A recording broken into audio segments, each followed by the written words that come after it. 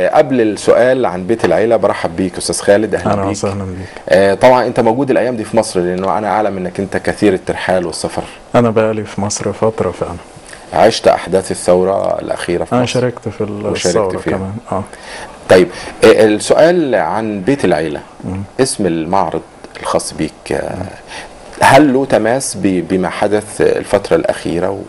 هو ال- الأسرة المصرية أو العيلة ما هي إلا آه، نقطة في تكوين المجتمع المصري كله. المجتمع المصري هو بيت العيلة الكبير. فالأسرة المصرية أو بيت العيلة الصغير ما هو إلا آه، نقطة في ظل كيان كبير قوي اللي هو بيت العيلة مصر اللي إحنا بنحاول نصلحه من خلال الثورة. البيت المصري كل ما يبقى متماسك كل ما يبقى الكيان الكبير كله آه، متماسك. جميل. طيب إحنا طبعا موجود معانا مجموعة من الأعمال الخاصة بال- بالمعرض الموجود حاليا. يا ريت الزملاء يكونوا محضرينها.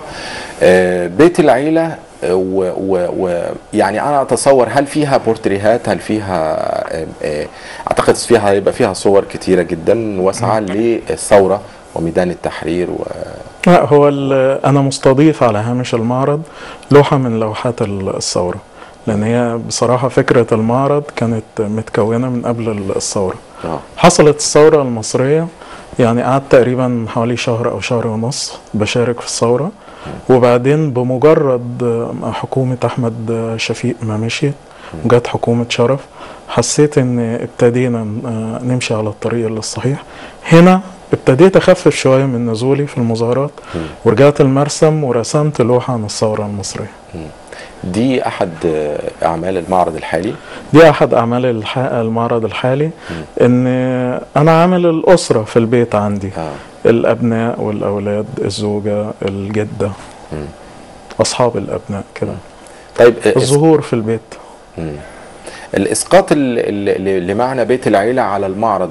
آه، طيب الخلافات اللي كانت موجودة والانشقاقات واختلافات الرأي اللي عاشتها حتى الأسرة المصرية يعني في أحداث معينة أثناء الثورة كانت الأسرة الواحدة بيبقى فيها اختلاف وجهات نظر. وأتصور حتى أيام الاستفتاء ده كان الأسرة الواحدة الأب والأم ممكن يكون ليهم رأي الأولاد ليهم رأي تاني. هل جسدت ده وهل آه، يعني عكسته في لوحة من لوحاتك؟ هو أحيانا ممكن يحصل صراعات في البيت ما بين الأولاد الصغيرين.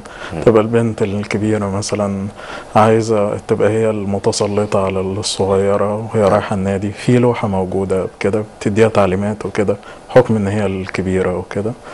آه إنما في النهاية خالص أعتقد إن ال- البيوت المصرية كلها بنسبة كبيرة قوي كانت متفقة.